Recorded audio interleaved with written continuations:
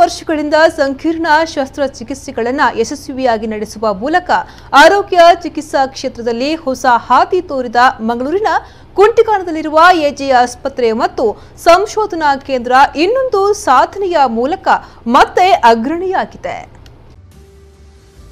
ತುಮಕೂರಿನ ವ್ಯಕ್ತಿಯೋರ್ವರು ನಾಲ್ಕು ವರ್ಷದ ಹಿಂದೆ ಸುಡೋಮಿಸೋಮ ಗೆಡ್ಡೆಯಿಂದ ಬೆಂಗಳೂರಿನ ಆಸ್ಪತ್ರೆಯಲ್ಲಿ ಶಸ್ತ್ರಚಿಕಿತ್ಸೆ ಮಾಡಿಸಿಕೊಂಡು ಕಾಯಿಲೆ ಮರುಕಳಿಸಿ ನೋವಿನಿಂದ ಬಳಲುತ್ತಿದ್ರು.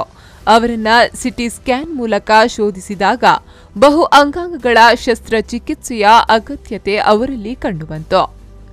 ಶಸ್ತ್ರಚಿಕಿತ್ಸಾ ಪೂರ್ವ ತಪಾಸಣೆ ಮತ್ತು ಪೂರ್ವ ತಯಾರಿಯ ಬಳಿಕ ರೋಗಿಯನ್ನ ಆಗಸ್ಟ್ ಹದಿನಾಲ್ಕರಂದು ಎಜೆ ಆಸ್ಪತ್ರೆಯಲ್ಲಿ ಶಸ್ತ್ರಚಿಕಿತ್ಸೆಗೆ ಒಳಪಡಿಸಲಾಯಿತು. ಕ್ಯಾನ್ಸರ್ ಶಸ್ತ್ರಚಿಕಿತ್ಸಾ ತಜ್ಞರಾದ ಡಾಕ್ಟರ್ ವಿಶ್ವನಾಥ ರವರ ನೇತೃತ್ವದಲ್ಲಿ consultant surgical gastro ಎಂಟರಾಲಜಿಸ್ಟ್ರಾದ doctor Rohan Shetty, doctor Ashwin Alva, medical oncologist doctor Rachan Shetty ಅರಿವಳಿಕೆ ತಜ್ಞ ಡಾಕ್ಟರ್ ತ್ರಿವಿಕ್ರಮ್ ತಂತ್ರಿಯವರ ತಂಡ ಹದಿನೆಂಟು ಗಂಟೆಗಳ ಕಾಲ ನಡೆಸಿದ ಶಸ್ತ್ರಚಿಕಿತ್ಸೆಯ ಮೂಲಕ ಗೆಡ್ಡೆಯನ್ನ ತೆಗೆದು ಹಾಕಲಾಯಿತು.